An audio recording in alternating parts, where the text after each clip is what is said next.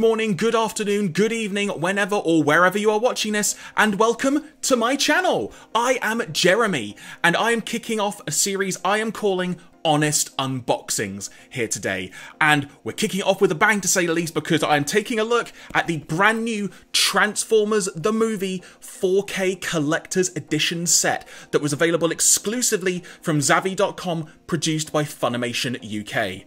Very much looking forward to seeing how this has turned out, as I'm sure a lot of people out there are too. Worth noting before I go any further, that this video is going to be split up into various chunks, and you can find the time codes for those here. So if you want to jump forward to a specific section, you can do just that. With that being said, let's get on and take a look at this. We kick things off with the product preview. In this section, I'm going to be looking through be it a retailer's website or the actual company's own website if they have the information documented there to see what they have said respectively about the product in question I will be looking at. We're taking a look at Transformers, which as I mentioned, this 35th anniversary 4K collector's set is a Zavvi.com exclusive. It's also sold out, mind you. So we're going to have a look at the Zavvi.com listing and see what they had to say about it. So here we are on Zavvi's website. As you can see, it's sold out, cost $39.99. Now let's scroll down and see what the description has to say. So the set includes one UHD disc and a Blu-ray disc with special features, so you get one disc of each, six art cards, a poster by Matt Ferguson, an art book, and all of that is packed in a rigid box. When it comes to special features on the, the disc itself, I'm led to believe this is. We have the new 4K transfer, a new feature-length storyboard including deleted, alternate, and extended sequences, a new featurette including Stan Bush's acoustic performances of The Touch and Dare, classic songs, Then a comprehensive documentary looking back at Transformers the movie. I'm actually really looking forward to seeing that.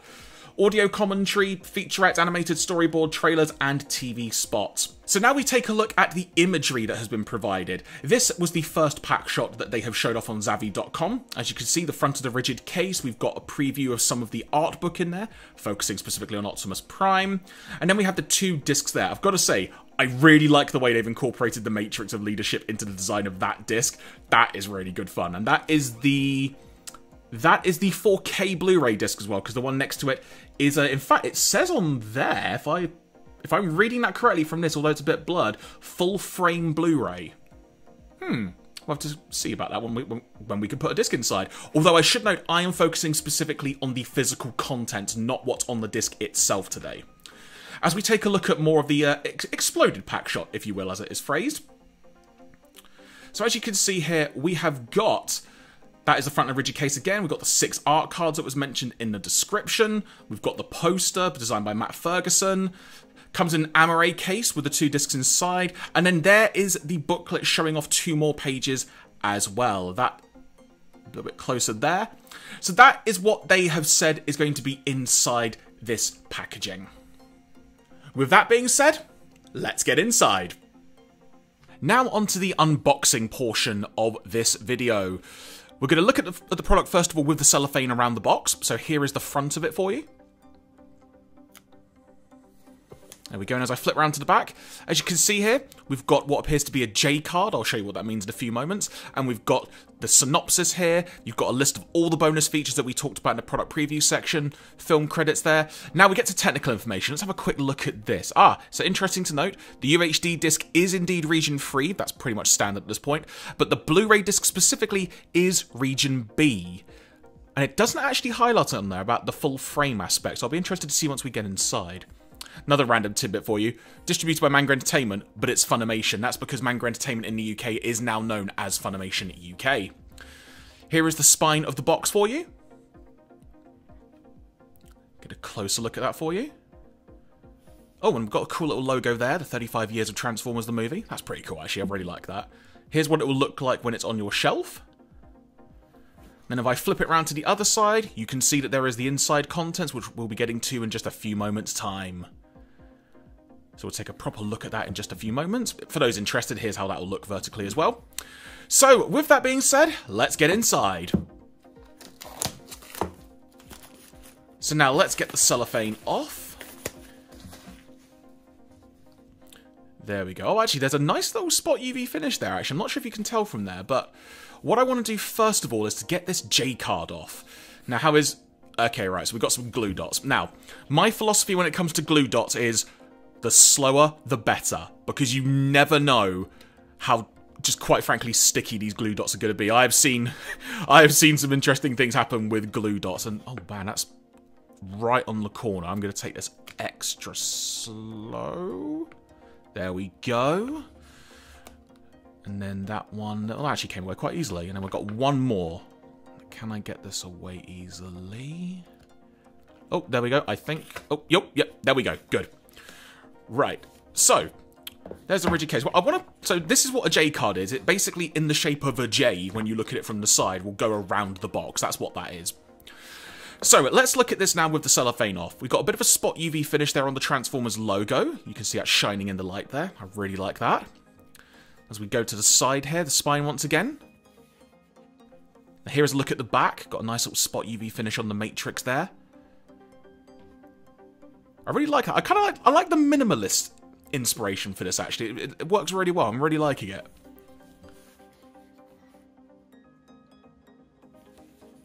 And then have a look at the top spine. And then the side spine, because that's what's got all the content inside. And for those of you who want to keep track, that is what is underneath as well. So, with that being said, let's have a look what is inside this. So we've got to split into three segments. Okay, what's this? Oh. Uh, right, you know what? I'll come back to those in a moment. Let's start with this. I see. Oh, that's cool. So we've got a nice little sort of cardboard envelope here, which I'm assuming is going to have inside the poster and the art cards. That's a nice little touch, that. I like that, actually. And the fact it's branded as well is really nice. Now, that is the poster, so we'll come back to that in a few moments.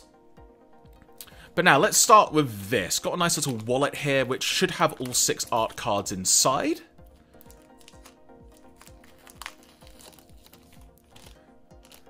I'm doing this gently just because glue has uh, has wronged me before, as it were, so I'm just being extra careful in case something may have gone wrong during manufacturing. Not that in all honesty it probably would have done, but better to be safe than sorry.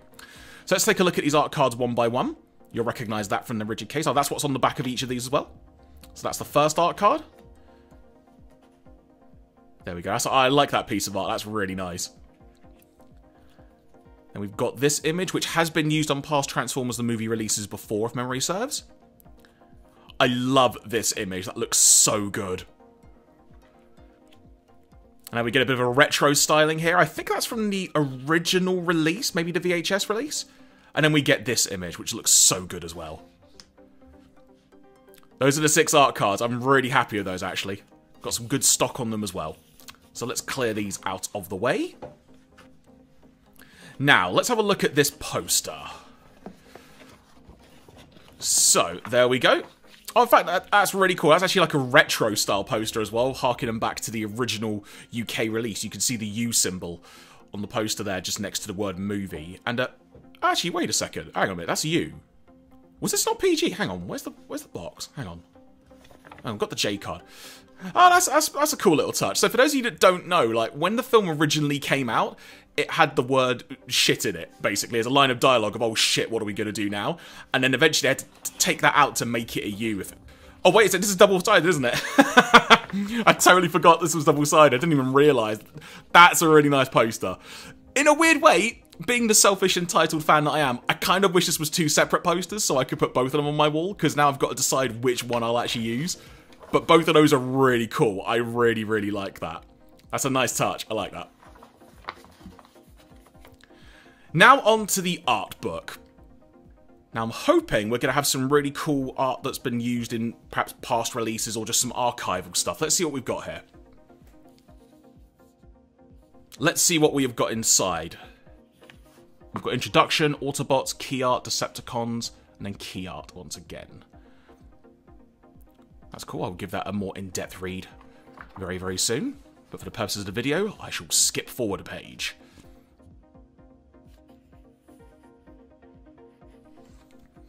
Ah, okay. This this looks to be really new art.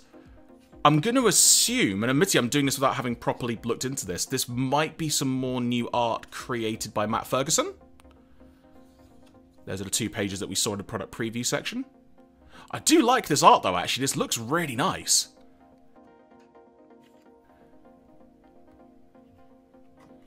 This is now where Gloves is coming back to haunt me. Because I can't... That image of Arcee is really cool. I really, really like that. That is a great piece of art. Look at Kup looking all happy. We've got Grimlock there. That's really cool they incorporated the quote onto that page as well. Now we get some original poster art there. Once again, proving that wearing gloves was perhaps not the best idea in the world for an unboxing, but here we go. Here's Megatron. Okay, that's interesting. So it's the same image on both sides, but you've got the line art and then an actual sort of coloured-in version of it. That's a cool touch. I like that. Such heroic nonsense. uh, that's a nice little touch on there as well. I like that. And then we have Galvatron. And once again, we've got the line arted and the coloured in version. I'm liking that as a design choice, actually. I, I like that. That's working well. Once again, these gloves proving to be the better of me here. There we go. As you can see, we've got Unicron. Wait a second, hang on. Wait a minute. Unicorn? Really? really? Unicorn? Unicorn is here! oh man, that, oh, that's a that's a shame, but hey ho. Oh, yeah. So now we have some really cool poster art here, some key art, key visuals. Actually, that's a really cool image. I like that. The battle with Optimus and Megatron. And you, you'll notice some of these art designs here are what were on the art card, so it's nice you have a couple of versions of those as well. Oh, so there we go, and that is the art book, everybody. There we go. Now let's get on to this Amaray case. So, first of all, quick look at the spine. Then a quick gander at the back. Once again, all the special features, synopsis and the technical information that we saw on the J card. I believe that this Amaray is available individually from retailers as well. So if you do want to order the film just on its own, you can do that. Once again on there, not mentioning about the full frame aspect of the disc. Right, let's get this cellophane off. That, this is... Hang on a sec. There you go. That was far stronger than I was expecting, but there we go. So, once again, here we go, front and back. Let's just open this straight up. We've got the two discs inside. Try and twist that around quickly. So first of all, this is the 4K disc. We talked about this on the product preview page. I really like the way they've incorporated the Matrix into that design. That works really well. And then, uh, that does indeed say full frame Blu-ray.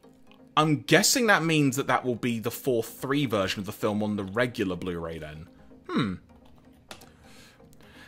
And here's a really cool little extra for you folks. So there's a reversible sleeve, and this isn't advertised, but I think this is really cool because this is this appears to be like the original VHS cover, but just reformatted and resized for this 4K UHD Blu-ray. That is a really cool touch. I am all about that. That is really cool. That's a nice touch. So there we go, folks. And now we come to my final thoughts, but first of all, an update on something which I think does actually add some more value to this overall package. Now, although I'm not actually going to be showing you any footage from the discs themselves, I did put both the discs in to my Blu-ray player, obviously the 4K disc into a 4K UHD Blu-ray player, to just check out what was what on the discs. And there is an interesting thing to note, which I do not see advertised anywhere on the actual packaging technical information anywhere itself. The 4K UHD disc, the movie is in widescreen. Whereas on the regular Blu-ray, you remember at the beginning of the video when we were looking through the Zavvi website, I said, I noticed that it said full frame Blu-ray. Kind of making me think, does that mean the film is going to be in 4x3? It is. So you do actually get two versions of the film. Obviously, on the, on the 4K disc, that is the version that's got HDR, that is in widescreen. Also, of all the bonus features, it's only the audio commentary that is on the 4K disc, which is totally fine. That's pretty much standard for there to perhaps not be as many, if any, special features on 4K discs at this stage. It's not that it doesn't happen, it's just it's not uncommon at this point. So all the features, all the extra features, sorry, are on the regular Blu-ray disc, and you get the full framed version of the movie on the regular Blu-ray disc. What is interesting, and quickly flicking through some of the special features, some of the documentaries that are included, or it's probably all of them at this point. I haven't, again, not watched all of them at the time of recording this. The actual footage that's used from the film in the documentaries is in widescreen, which, considering that's on the full frame Blu ray, it's a little bit inconsistent, but it's a tiny little niggle to be fair. It doesn't make a difference in that respect. When it comes to the physical packaging, this is what I really wanted to focus on primarily in this video. I actually think this is pretty good value for money. It, obviously, I mentioned it's sold out, so sorry, you can't get hold of it unless you can find it from elsewhere, or perhaps there are some extra copies lying around that Zavvi find. But I actually think this is a very good package. I really like it as a big Transformers fan. I love the art that's included. I will say, when it comes to the art, it's only specifically mentioned in the advertising again on the Zavvi website. In fact, you know what, let me just bring it up, hang on. So if we look on the Zavvi website again, on the actual information, it only specifically mentions that it's Matt Ferguson's Transformers movie poster that's included. But there's actually far more of his art in this release than is actually mentioned in the advertising, which I think is something that needs to be mentioned because Matt Ferguson's art is awesome. Like all the art that you saw in the booklet, that is Matt Ferguson's art. I'm just going to switch back now. That is Matt Ferguson's art that's in the actual art book and it looks really, really cool. But I will be honest, I was kind of clamoring for more original art. And again, that's not taking away from Matt Ferguson's art because I freaking love it. Like that image of Arcee was amazing that I pointed out when I was unboxing it earlier. There is just an element that I wish there was more original art in it. Having the reversible sleeve is really, really cool, just to highlight some of that original art need. It's a really, really cool extra touch. But there is just this notion in my brain of there must have been more original art that could have been included. My only suspicion is that maybe there were probably some rights clearances or perhaps something else that just meant it couldn't have been used, which is totally understandable. I am perfectly content with that if that is the case. Again, no, it's just that little niggle. But obviously, if there is one glaring thing, which is in the grand scheme of things a tiny thing on this release, but it is present, so I've got to note it again unicorn. It should be Unicron. It's a little typo, but considering it is the main antagonist of the film and quite a legendary Transformers character, that's a pretty good slip up, which during the QC process is possible. Everyone's only human. It is just a shame of everything that could have got through. That was the thing that could have got through. It's just a shame in that respect. But again, it's not a deal breaker. This package is really, really nice. I'm really happy I've got it in my collection. I can't wait to watch everything on this. I've not watched the Transformers movie for quite a while, so I'm really, really intrigued to see how the 4K UHD transfer looks, perhaps compared to the regular Blu-ray version, and then checking out all the documentaries as well. I love the art cards. I'm debating what I'm probably going to do with them. I might try and put them in a frame or something just to display them really nicely. Also, I've got to say, I did like the way that the art cards and the poster, the double-sided poster, mind you, that caught me off guard. That I'd like the way they were they were actually contained in that small envelope. That was a really nice touch and just a way to kind of keep them very clean and in there. So yeah, overall everybody, I am giving this release a thumbs up. I am very, very happy with the purchase, and I hope that this has helped you guys out as well as in terms of whether you perhaps wanted to get hold of it or if you have got hold of it but are waiting for it to arrive and such. But obviously, it is sold out. However, there is something I do want to point out because I mentioned this is a Zavvi exclusive, going back to the Zavvi website for a second, because there is another version of this Transformers film that you can purchase on the Zavvi website and that is a 4K 8 Ultra HD Steelbook edition with some really cool art there. I'm assuming by Matt Ferguson once again. Love that piece of art. And with it, you get both the Blu-ray and the 4K UHD Blu-ray disc in there as well. Obviously, you don't get the rigid case, you don't get the art book, the art cards, the poster that is in this one, but you do get all the on-disc contents as well. So if you're really interested in picking up the 4K version, you can do just that as well. And I would assume that there is a regular 4K UHD Blu-ray version available in general from retailers as well.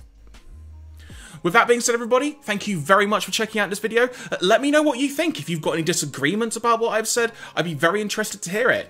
This is the first time I'm doing this, so if you've got any notes or constructive criticism, I'd love to hear it because I want to do more of these. It, doing unboxings is something I've done for quite a while in a professional capacity and this is something now that I want to do more in a personal capacity. So, doing something like this is something I really enjoy doing. I would love to give some more honest thoughts, as it were. That's why I've called this an honest unboxing, because I can actually really add my own thoughts to this now.